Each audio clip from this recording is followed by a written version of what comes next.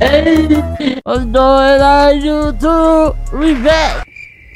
As y'all can tell by the title of the video, I ain't gotta get more right into it, bro. I know it's been a minute. First video, 2025. You feel me? First video, 2025. You know how you feel about my little penthouse. Yeah, you feel me? Top floor, you feel me? Excuse me for my setup. I got my LED light on. You feel me? I only light I got is this this phone right here. I know y'all see that. So uh, my face just a little dark. So uh, I'm gonna try to upgrade it as the year goes on. All right, that's the that's the plan. That's the plan. Alright, so let's open up that FL Studio, you feel me? You open FL Studio and your brand new FL Studio might look a little different. All you want to do is go up here to the left where it says File, and it'll say like, it probably say New or New from Template. Or you just to make sure, to make sure you click New from Template and then click Empty right? Hit that, boom. You're gonna be straight up where I'm at. Now you're trying to get all these fancy themes. I got you, bro. I'm gonna, I'm gonna give you guys the one I'm using right now. Somewhere in the description, just somewhere. I, if I forget, let me know in the comments, all right? Because I be forgetting things. So first of all, what you might do is go to option, audio setting. Now most likely, your thing should have FL Studio A2. That's what we're gonna be using for today, all right? Just make sure you got it on and make sure your CPU, all of this is checked on and safe overload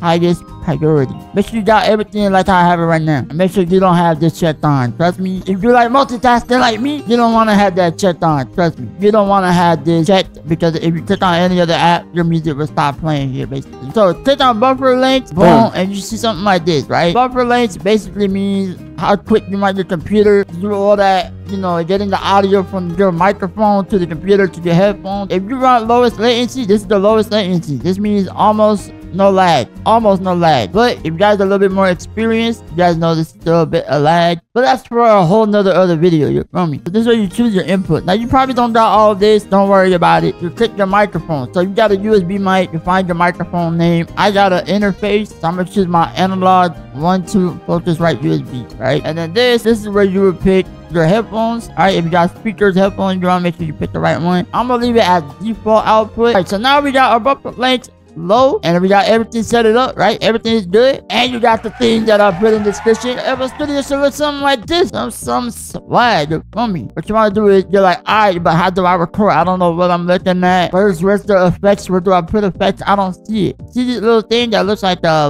like the 11 with the little squares in the middle? Click that. Oh i saw i saw that how they like animation. It's magic. This is where you put your effects. Now you probably confused like what's going on? Don't worry do not figure i got you i'm gonna try to simplify as simple. If you skip to this part, like how I said earlier, then you know I yap a lot. So there's many different ways how to do it on FL Studio, and I think that's the fun part, right? So look, if you right click on any of these things here, you would get something like this, right? As beginner, I recommend you guys doing either two of these ways, all right? This is one, right? Track one, go down to track mode, audio track, not instrument track, or on the sign, audio track, and then click insert one, right? Boom. Now your thing should look something like this, right? This is where you can pick, you know, if you have an interface with a lot of microphones or guitars, that's what you pick. Then for track two, you want to do the same thing. Track mode, audio track, track two. Right? Just so we can get it to, you know, we don't get confused. Now what you want to do is middle mouse. If you're on the laptop, you don't have middle mouse, that's alright. Right click and click rename color icon. So it's basically the same thing, right? But I'm, I'm gonna do middle click, boom.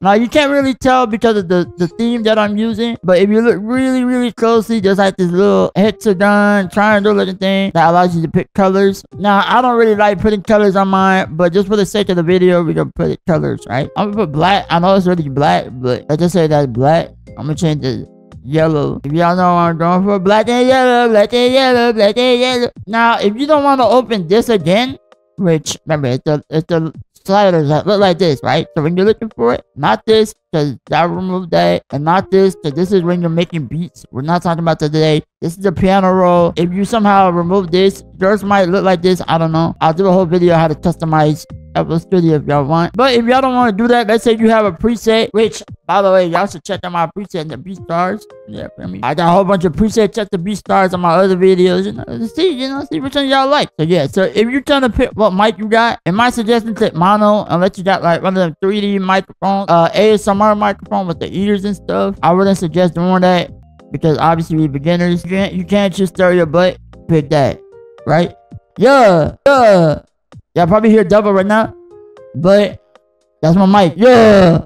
All right, anyways. Oh yeah, by the way, you see this dot right here? There's a lot. If you already chose this, right? You can have it where you can hear yourself, right? Ah, get to more detail with that. Hold up. If I hear myself, yeah. I don't want to hear myself, nada. But let me clear up on myself. This is if you want to have it recording. Because if I press record right now, and this is not selected, it's not recording anything. You see that? But if I click this, yeah, black and yellow, black and yellow, yeah, black and yellow, black and yellow. Right now, you might now you might be one of them people that I'm like. I don't like hearing myself when I record. You know the latency's hella bad. So you're one of those people that don't like to hear yourself. You click this. You click the little volume looking thing, right? You click that. Click that, right? Just so y'all can see it better. You would click that and then monitor external out input off. That means even if you click this, I know it says it's muted, but that's monitoring, right? You see how on the top it says external input only? Now, the external input, just to break this down, when you hit record, this is only going to record raw input, right? You saw how like it had no effect, no nothing, right? Hello, hello, hello. Basically what this does is you have post effects, right? Yo, ooh, and I turn off the effects, you're still going to hear it. Yo. You heard that? Right? So basically that adds the effect. Post EQ, you have another like a miniature EQ here, which depending on what you guys want, I could do a whole video on that, right? Or oh, I could make this a whole series. I don't know. So like if I add something here and record, even though I put this back to normal, it'll still put it in there, right? Right? So basically what I'm saying is ideally, if you want to make sure you want to export this to somebody else, something like that, make sure you have an external input. Unless you want the effects in there, then you click post track or post effects or something like that. So that's the first way to set up. Now let me start new. Second way. All right, so let's pretend this is your beat. All right. You would double click this, and now you can put this on whatever you want. Let's say 10. Let's just put 5. Let's say you want your instrument on number 5. If I hit play, see that? It's on number 5. Alright, if I want to change it to number 10, number 10, even if I click off of it, see that? And it don't matter where I put this, right? If I put play again, 10. Second one is you don't even have to put it here. Just straight up click this, boom.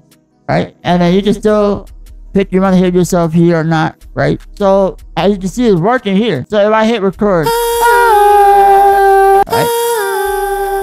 That's another way. And like the third part is, is that if you had it assigned, let me show you what happened if you assigned this. If you had this assigned, right? You see how like instead of like, it created another one, right? You can hide it like this. Now, let me show you what happens if you don't assign it and you got something here you want to layer it, right? you know, it's not under a group. I can't hide it. It, it. you know, it depends what you want to do, right? Because let's say I want to punch in right here, baby, right? You see them rappers like Pablo Matt, baby, I love you. Uh, I don't. yeah, let's see what. I love you. I don't. See, boom. That's like that. But if it was under here, it would all be under, you know, the top one group, like every group like that. Baby.